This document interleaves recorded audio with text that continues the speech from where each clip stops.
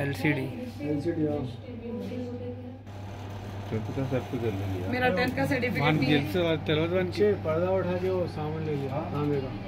TV का भी हो। गया टीवी भी गया अरे अंदर जा जाओ जी तुम्हारा काम क्या है? पीछे दीवार छोटी है। तो ये ढंग में से आगाम तो जाया पीछे। गाड़ी पानी महँगा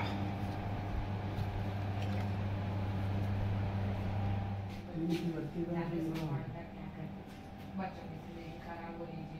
वो चार महीने से लड़ रही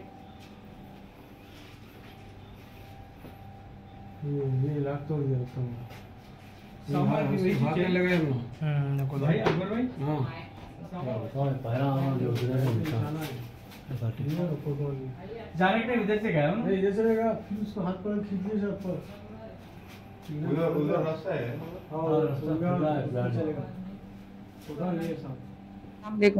मेरा नाम शहनाज बेगम है। मैं आड़े पहाड़ की दरगाह के पास बिस्मिल्ला वायद मस्जिद की गली में रहती हूँ। मेरे घर में मैं फ़ंक्शन को गई थी। दस बजे गई दो बजे आई मैं। अभी आते जस्ट मेरे पास घर को आते मेरा घर का पूरा सामान बिखरा हुआ है।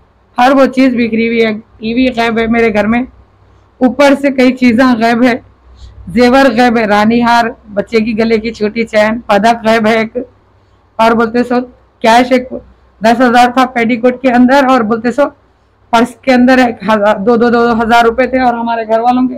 ये फाइनेंस के देखिए आप ये चिट्ठियाँ हैं, आप डेट देख सकते अप्रैल में बन के अनमोल फाइनेंस वालों का जाके पूछ सकते इनके पैसे भी एकदम पूरे दियो, नहीं तो ऑटो खींच लेते, बोले तो इनको पूरे एकदम दस हज़ार देने के करीब के थे चिल्लर साढ़े तीन हज़ार रुपए के करीब में हम लोग जमा करे तो थे। ये पैसे, वो पैसे मिला के वो पैसे भी चले गए और भपका गया मेरा, घड़ा गया तांबे का, बच्ची को शादी कैसे बोल के ला के रखे तो। और बोलते, सो, लगन जो आता अपना तांबे का, वो गया, डोंगा, घड़ा, ये पाँच छह आइटमा गए भाई, टीवी भी गए, एलईडी टीवी। तीन महीने हो रहा है टीवी होके, टीवी की भी बिल है मेरे पास। आपको वो भी पेश करती इससे हम लोग ये बंदलगुड़ा सो, सोहेल सो, सोहेल कॉलोनी बोल के है। केसीआर का जो हॉस्टल है ना रॉयल सी होटल के पास तो वहाँ पे हमारे को दावत थी आज। तो हम लोग वहाँ गए हुए थे मैं हमारे घर वाले बच्चे पूरे मिलके। आपको कैसा पता चला यहाँ पर? हम लोग जस्ट घर का दरवाज़ा खोले तो हमारा जो दो जाली वाला डोर है वो डोर को लॉक टूटा हुआ था। हम लोग एक डोर को अंदर से लगा के जाली को कुफल डाल के बाहर के दरवाजे लगाते थे। आते पूरा सामान बिखरा हुआ रहने की सूरत में हम ना डर के क्या करे कोई सामान को हाथ नहीं लगा।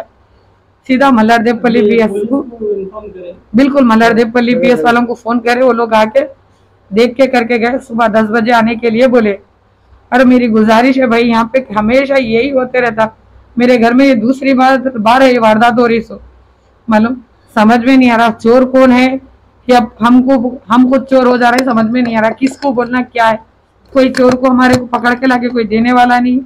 हम गरीब सुबह उठे तो हमारे घर वाले ऑटो को जाने वाले। जाके मेहनत करके आते सब।